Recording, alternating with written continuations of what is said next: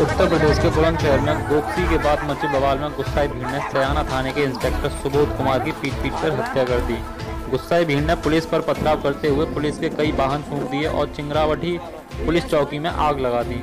Police की जानकारी मिलने के बाद कई थानों की पुलिस और आला अधिकारी घटनास्थल पर पहुँच गए और हालात को काबू में करने के प्रयास किए गए।